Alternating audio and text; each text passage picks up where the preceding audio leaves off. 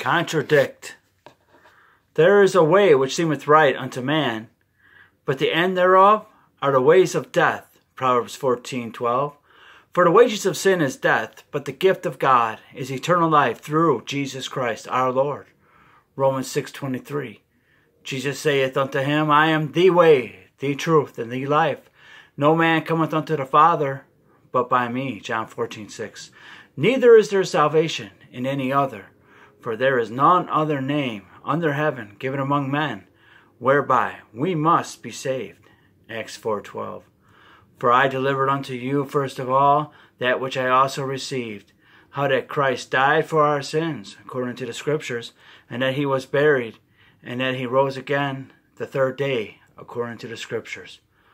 1 Corinthians 15, 3 and 4.